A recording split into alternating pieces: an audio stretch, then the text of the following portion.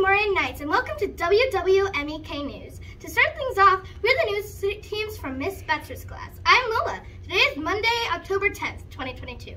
Next up is William, who will lead us with the Pledge of Allegiance.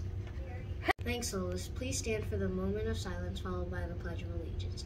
I pledge allegiance to the flag of the United States of America and to the republic for which it stands, one nation, under God, with indivisible liberty and justice for all. Please continue to stand to, to recite the Knight's Code Pledge. I pledge to do my personal best in becoming a responsible and reliable citizen, to be respectful to my teachers, adults, classmates, and self, to prepare myself and materials for the day so I'm ready to learn, and to contribute my talents to make Moran School and myself the best we can be. Thanks, everyone. Please be seated. Thanks, Bailey. For lunch today, we will be having cheese ravioli, garlic toast, turkey burger, Caesar salad, and pears.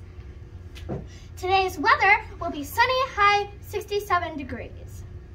The book fair starts Friday. Be sure to check out all of the cool books and items. For tuning in to, w, to WMEK News for Moran's most up-to-date news. And lastly, a daily quote to remember is, life is about making choices. Make good ones today!